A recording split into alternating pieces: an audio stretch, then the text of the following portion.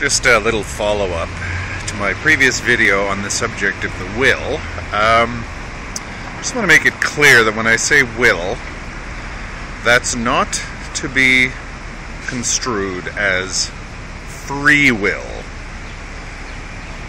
Um, I have no opinion on the subject of free will because, sort of like God, I don't think that free uh, or unfree will has been adequately explained. I'm agnostic, I suppose, or agnostic on the whole idea of free will.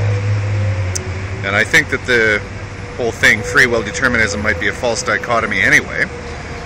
Um, but will is another matter entirely. Uh, you don't have to be free to have will. You don't have to have even the remotest chance of getting something to actually want something. You don't have to have the remotest likelihood of achieving a goal to have a goal.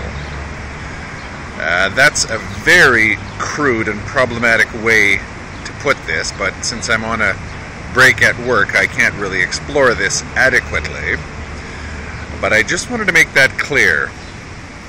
Will and free will, at least as I use them, are not to be taken as synonymous.